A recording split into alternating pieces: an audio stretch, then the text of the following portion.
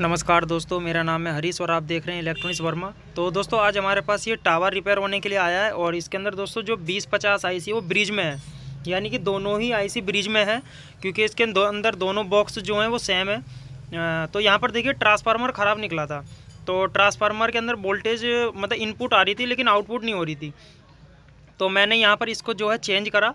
तो मैंने टेस्टिंग के लिए यहाँ पर एक होम थिएटर का ही ट्रांसफार्मर लगा लिया है, जिससे कि हमें ये पता लग जाए कि सेट में क्या दिक्कत है।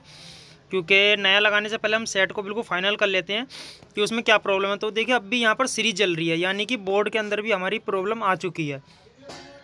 तो प्रॉब्लम को हम कैसे सॉल्व करेंगे? अब इसके अंदर शॉर्टिंग है। शॉर्टिंग कैसे पता लगेगी हमें? तो सबसे पहले हम जो है, यहाँ पर क्या करेंगे? सबसे पहले देखिए, मैंने इनके डाईबोर्ड चेंज कर दिए। क्योंकि शॉर्टिंग जो है, सबसे पहले डाईबोर्ड से भी हो सकती है। तो डाईबोर्ड चेंज करें। शॉर्टिंग नहीं गई। फिर हमने पहली आईसी निकाली शॉर्टिंग नहीं गई। फिर दूसरी निकाली। तो जैसे हमने तीसरी आईसी निकाली, हमारी शॉर्टिंग जो है वो चली गई। क्योंकि सबसे ज़्यादा जो है आईसी के अंदर ही प्रॉब्लम होती है। तो देखिए दोस्तों, इस टावर को मेरे को बहुत देर हो गया रिपेयर करते हुए। तो ट्रांसफार्म तो इसका ख़राब था, हमने चेक कर लिया था। फिर यहाँ पर जो इस बोर्ड में शॉर्टिंग आ रही थी, मैंने आपको दिखाया था कि सीरीज़ जल रही थी। तो सबसे पहले मेरे को डाईबोर्ड पे थोड़ा डाउट लगा, क्योंकि वो सारे हीट हो रहे थे। तो मैंने पहले डाईबोर्ड चेक करे, लेकिन शॉर्टिंग हमारी नहीं गई। फिर मैंने इस आईसी को चेंज करा तो शॉर्टिंग फिर भी नहीं गई। फिर हमने ये आईसी ओपन कर दी, ये आईसी से भी शॉर्टिंग नहीं निकली। फिर हमने ये आईसी को निकाला तो हमारी शॉर्टिंग चली गई। तो यहाँ पर हमारी ये आईसी ख़राब हो गई थी। इसकी वजह से हमारी जो सप्लाई है शॉर्टिंग दिखा रही थी।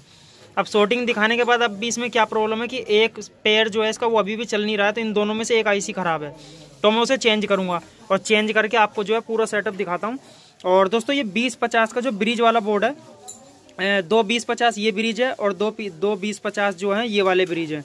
तो ये बोर्ड कुछ इस तरीके से, और देखिए वायरिंग में आपको दिखा देता हूँ। ये देखिए, ये वाला जो है, ये स्पीकर पॉइंट है। ये स्पीकर पॉइंट है, ये भी स्पीकर पॉइंट है, ये ऑडियो इन है। ये पाँच बोल्ट की जो है, ये सप्लाई है। और बाकी इसमें वायरिंग कुछ ज़्यादा नहीं है और एक बास टेबल बोर्ड जो है, ये देखिए अंदर लगा हुआ है। इसकी आउटपुट देखिए, सीधी जो है, ये बोर्ड पे आ गई है, देखिए। बास टेबल की जो है। और जो इनपुट है वो देखिए, कार्ड की जो है वो देखिए बोर्ड पर गई हुई है। तो बहुत ही नॉर्मल वायरिंग होती है, कुछ ज़्यादा खास वायरिंग नहीं होती। और फिर भी मेरे को जिस हिसाब से लगा इसकी जानकारी देने के लिए। तो दोस्तों, अब मैं इसकी ये वाली आईसी भी चेंज कर देता हूँ। तो शॉर्टिंग निकालने के लिए मैंने पहले डाईबोर्ड को ओपन करा, फिर एक एक आईसी निकाली और शॉर्टिंग हमारी इस तरीके से चली गई। अब हम इसको क्या करते हैं, एक आईसी और चेंज कर देता हूँ। इसके अंदर जो अभी साउंड जो है वो क्लियर नहीं आ रहा है दोस्तों। फिर आपको मैं इसको पूरा कंप्लीट करके आपको दिखाता हूँ। तो कभी भी अगर शॉर्टिंग वगैरह आती है तो वहाँ पर आपको कंपोनेंट से ही शॉर्टिंग निकलती है और इस बोर्ड में सबसे ज़्यादा जो शॉर्टिंग है, वो आईसी की होती है।